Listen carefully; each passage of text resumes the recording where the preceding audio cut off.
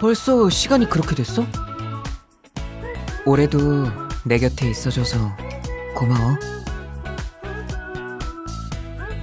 앞으로도 같이 있고 싶어. 허락해줄래?